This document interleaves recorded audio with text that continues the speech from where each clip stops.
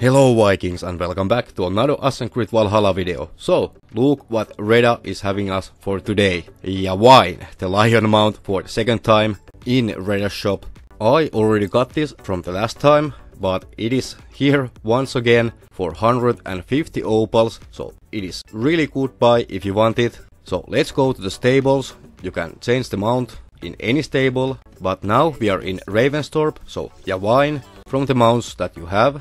So come on, here, the lion, and only thing left to do is call it and just be amazed by it. So let me know in the comments down below, are you getting this one or are you skipping this one?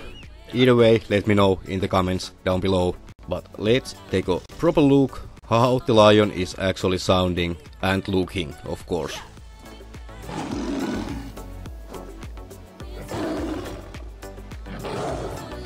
So awesome. That was really deep roar from the lion. Nothing more, nothing less could be expected. So, in simple words, in my mind, in my opinion, is this worth it? The 150 opals? Definitely, 100%. This is totally worth it. So 150 opals if you're just starting out. All of the maps, they have plenty of opals lying around.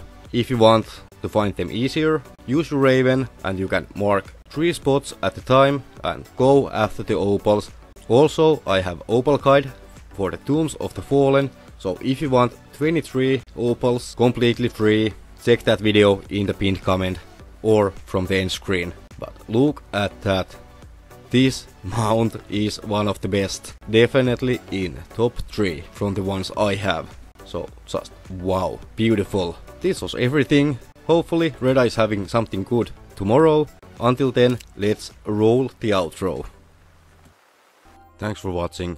Remember to hit the like, hit the sub, turn on the notifications so you won't ever miss anything that I upload or when I go live. Also Vikings, have fun, stay safe, be strong. Hope to see you in the next one. Skatha, over and out, and bye bye.